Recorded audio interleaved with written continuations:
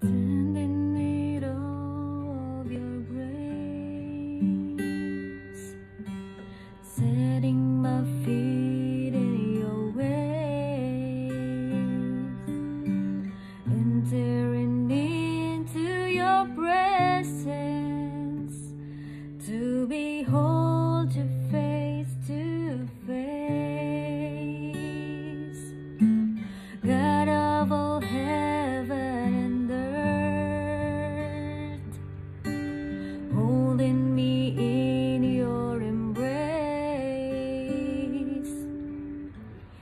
unfailing